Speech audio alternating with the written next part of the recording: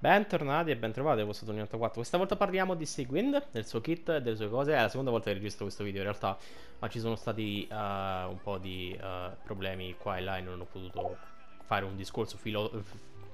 Insomma, allora, che personaggio è Sigwind? Andiamo nel test run per spiegarvelo. Molto semplice. Sigwind è un healer slash uh, sub DPS perché ha un sacco di abilità, un sacco di passive che gli permettono di aumentare uh, il crit rate dei propri danni, soprattutto. Um, per spiegarvi bene le cose, allora, innanzitutto l'attacchi base, come vedete, sono questi tre strani attacchi base, in effetti, molto particolari. L'attacco caricato invece è questo continuo lancio di queste bolle a forma di, di cosa. Che sono estremamente lente e, e, il danno che fanno sono più o meno irrisorio perché non scalano. Se non sbaglio. Mentre, ovviamente, se si preme il pulsante si lancia la classica freccia. Allora, la sua elementa skill è questa bolla. Che andiamo ovviamente nel talento, così vi, vi, ve lo dico subito. La sua elementa skill praticamente è questa bolla che lei lancia praticamente. La bolla rimbalza di nemico in nemico. Ma in realtà rimbalza a prescindere, facendo danni a OE. Eh, danni a OE, scusate, danni da Hydro. Uh, basati sugli HP massimi di Sigwind. Una marea di tutte le sue abilità scalano sui suoi HP massimi, quindi è un personaggio... Andare HP, raga. Non è un problema, quasi tutti capire dove andare a parare con i suoi danni. Quasi tutti gli healer di Hydro scalano in HP. In realtà quasi tutti i personaggi di Hydro scalano in HP, tra un po', però vabbè. Um, Ora, ogni rimbalzo che fa questa bolla cura i membri del party, a parte Seguin. Seguin verrà curata, eh, ovviamente la cura si basa sugli HP massimo, e quando eh, rimbalzerà 5 volte questa bolla esploderà praticamente, scomparendo e facendo recuperare eh, HP, sempre basati sui HP massimi, Uh, a Sigwind. Quindi diciamo che curerà prima gli altri poi se stessa alla fine. Quando non ci sono personaggi uh, presenti, uh, la, la bolla rimbalzerà vicino praticamente. Si può creare solo una bolla e quando caricata la bolla va in modalità praticamente caricata. Insomma, come funziona la modalità caricata? Semplicemente la bolla diventerà due volte più grande e rimbalzerà uh, e potrà fare determinate cose in più. Primo, uh, per ogni tier di grandezza che fa, vedete perché sto facendo un discorso conciso, io mi sto, sto come già detto, potrà diventare due volte più grande. Per ogni volta che lei diventa più grande, uh, aumenta i danni del 5% e le cure del 5%, quindi per un totale di 10% in più. Quando questa uh, bolla rimbalza, praticamente uh, si ridurrà di una, vo- di un, una tier di grandezza. finché non ritorna a essere una normale cosa. Se c'è un nemico minore, per nemico minore intendo tipo gli Lushir normali, il Shurz, scusatemi, normali, penso ai banditi più piccoli, tra quelli che non sono, che sono uh, uh, spostabili, ecco. Considerate questo esempio, che ne so, lancio un vortice e quelli vengono, sa- saltano a prescindere, ecco. Quei tipi di nemici lì verranno imblo- eh, bloccati da giga- dalla bolla gigantesca, quindi dalla modalità caricata, e saranno imprigionati per un- impossibili da muovere, eh, che non si potranno muovere. Più quando utilizza questa skill, lei lascia due uh, Source Waters Droplets. Chi non si ricorda skill, queste cose sono quelle gocce che uh, Nuvilette lascia per terra. Solo che funziona in maniera diversa, perché prima di tutto li può raccogliere solo Sigwind, queste qua, ovviamente.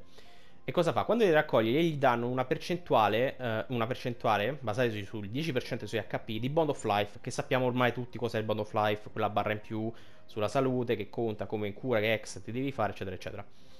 Uh, quando questo Bond of Life viene curato, lei riguadagna un punto di energia elementale per ogni 2000 HP uh, di Bond of Life che è stato curato.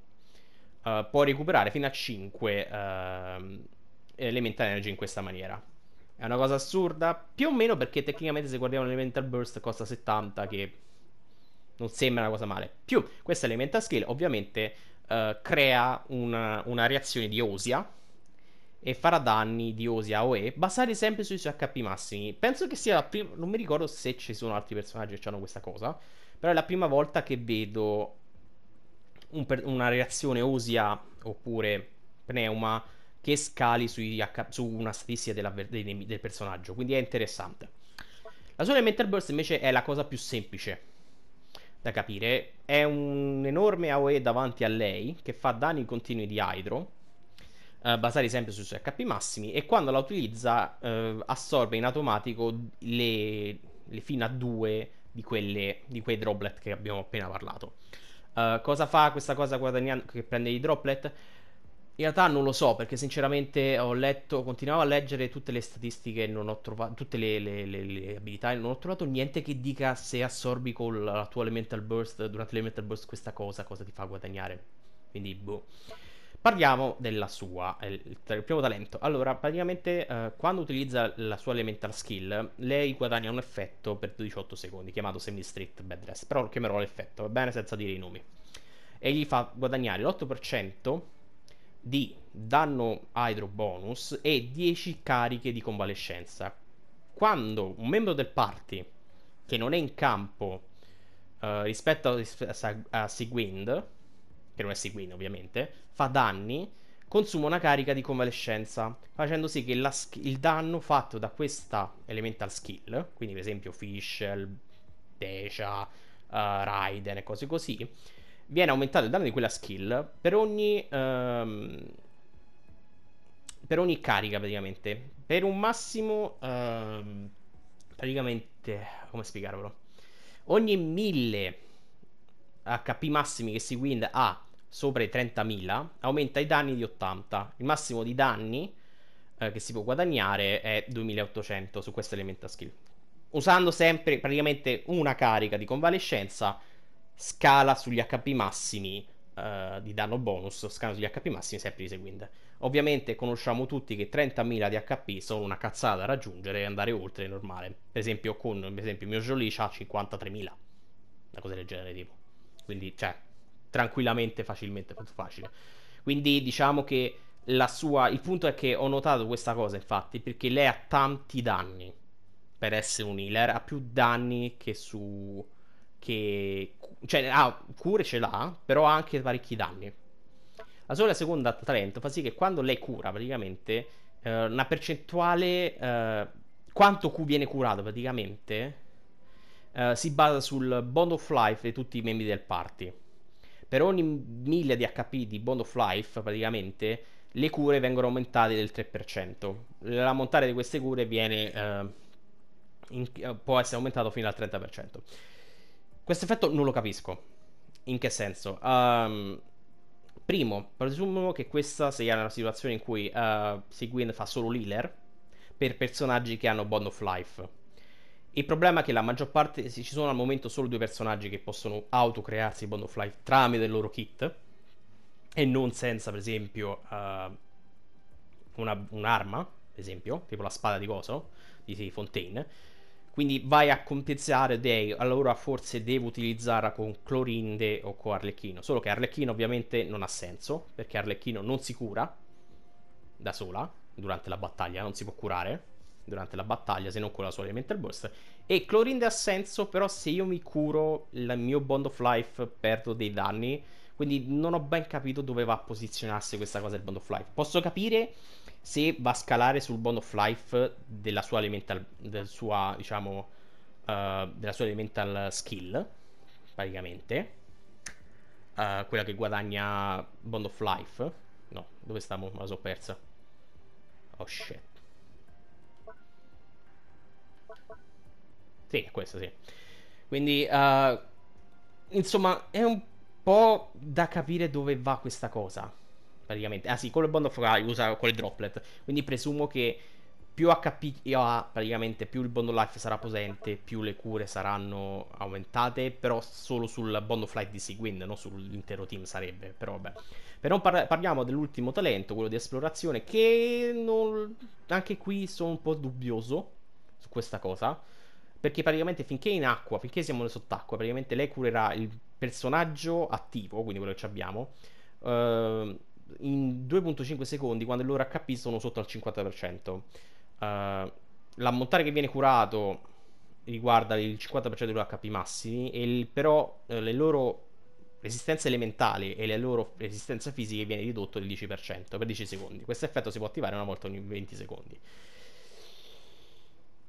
Ora, sì, ci sono delle boss battle sott'acqua. tipo dei nemici di nota, delle leggende, però...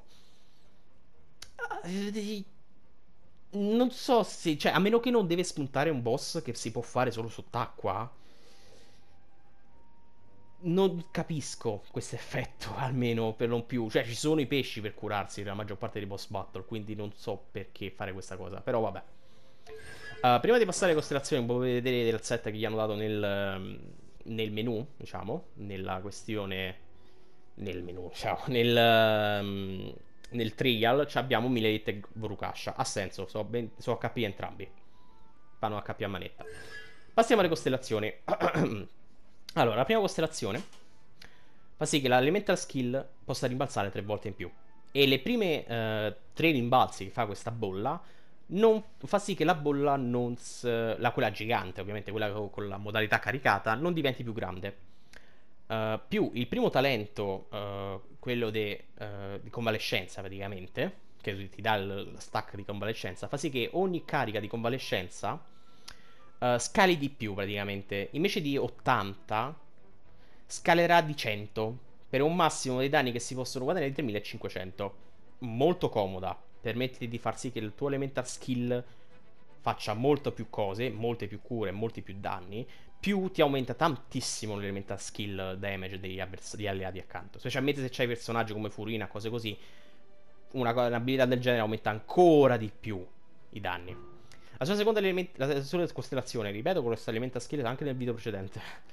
Quando utilizza le sue elemental burst e le sue elemental skill, lei crea uno scudo basato sul 30% dei suoi HP massimi. Uh, questo scudo ovviamente è uno scudo di Hydro che quindi assorbe di più meglio lo scudo di Hydro. Questo scudo però dura finché uh, queste skill che utilizza, quindi la sua elemental burst la sua elemental skill, finiscono. Più quando uh, una, la skill, le skill, ovvero l'elemental skill e l'elemental burst colpiscono l'avversario, riduce la resistenza dall'hydro dell'avversario. Ora, uh, due perplessità. Primo, se uno scudo di hydro vuol dire che posso subire tipo le reazioni di hydro, come per esempio il frozen. Quindi se un avversario mi lancia addosso del ghiaccio mentre ho questo scudo è capace che posso essere congelato. In teoria funziona così. Se funziona con gli avversari funziona anche con me, tecnicamente. Uh, secondo, uh, L'elemental skill dura abbastanza se c'hai specialmente la prima costellazione. Eh, però l'elemental burst senza la quarta costellazione posso assicurarvi che dura pochissimo. Quindi questo scudo può essere utile solo per avere meno interruzioni, diciamo, temporaneamente. Quindi, boh, potrebbe funzionare però. Terza costellazione ovviamente aumenta il livello massimo dell'elemental skill. Quarta costellazione, come ho già detto, estende la durata dell'elemental burst di 3 secondi. Quarta costellazione aumenta il livello massimo dell'elemental burst. Quinta costellazione, sesta costellazione. Questo è, è, quello che dicevo sul aumenta i suoi danni. In che senso? Quando Wind cura, aumenta il suo crit rate e i suoi danni critico per la sua elemental skill. Eh, sua elemental scusatemi. Basate sui massimi del HP. Per ogni 1000 HP, di HP massimi, lei aumenta il suo crit rate di 0.4% e il suo danno critico, quindi crit damage, di 2.5, eh, 2.2% per 15 secondi, per un massimo che si può ottenere di 20% di crit rate e 110% di crit damage. Buono, però sulla sua elemental burst, cosa che non è un effetto secondario, cioè non è un effetto che si può avvenire al di fuori del combattimento, al di fuori del, um, di lei che è in campo, quindi vuol dire, vuol dire che è un healer offensivo, diciamo, deve stare in campo a menare. Passiamo anche velocemente alla sua arma. Allora, la sua arma funziona così. Uh, il personaggio che ce l'ha praticamente può guadagnare l'effetto remedy, rimedio.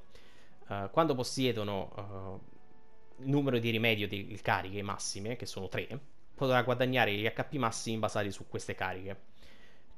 Fino a 12%, 24% e un 40% massimo di HP in più capi massimi ovviamente in più per, ogni, eh, per quando si ha tre cariche e si possono guadagnare una carica in questa maniera quando uh, utilizzi un elemental skill. Una carica eh, un elemental skill. Una carica quando il tuo bond of life aumenta e una carica quando curi. Uh, queste cariche sono indipendenti. Si possono attivare anche quando il personaggio non è in campo Uh, e che vuol dire che sono indipendenti? Vuol dire che vengono contati a minute diverse. Perché se vedete c'è scritto si ottiene una carica per 25 secondi quando si utilizza l'elementa skill, un'altra 25 secondi sempre quando si utilizza Bond of Life e una per 20 secondi quando si, utilizza, si cura. Uh, in più, quando entra- tutte e tre le cariche sono attive, uh, suo, il crit rate, quindi il tasso di critico dell'elemental boss viene aumentato del 20, 28%. Questo effetto sarà cancellato 4 secondi dopo che va sotto 3 cariche. Quindi diciamo che questo effetto, primo sì, può essere utilizzato soprattutto e solo soprattutto penso per Sigwin, perché gli basta utilizzare l'elemental skill per attivare tutto gli effetti. E di nuovo pare che lei sia un DPS più che un uh, damage dealer fisico. Adesso vi faccio vedere la sua elemental burst caricata specialmente, la sua elemental skill. Come vedete l'avversario è bloccato e c'è sempre una bolla che rimbalza e va a cercare gli altri avversari. Quelli sono i droplet, quindi prendo il Bond of Flight e questo è l'Elemental Burst che, come potete vedere, dura pochissimo, pochino. Quindi sono piuttosto sicuro che si preferisce... Uh, non lo so, io l'ho vista tanto come... Uh, come potete vedere, come un, un, sub DPS, ma più che altro un, DP, un Miller che può fare DPS.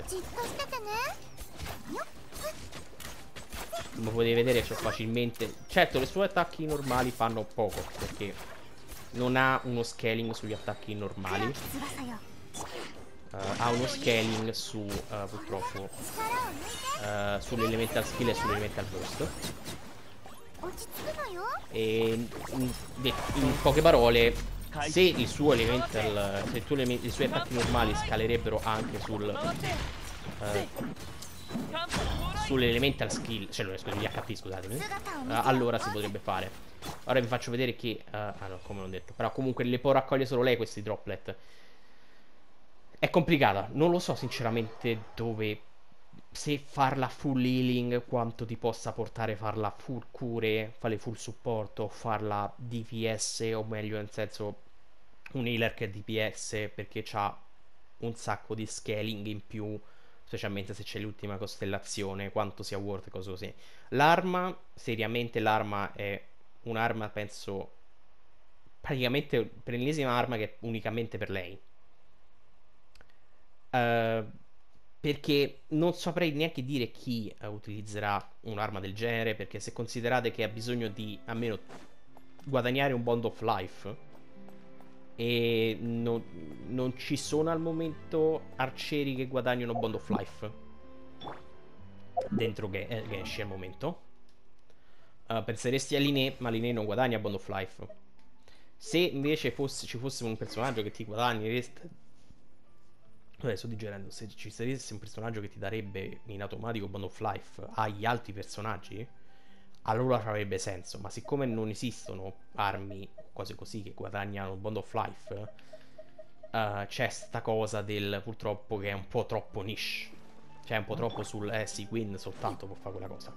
Mentre, per esempio, Chlorind può usare benissimo anche quest'altra arma qui, la quella di fonte in base invece della sua, che non ho ottenuto, però vabbè.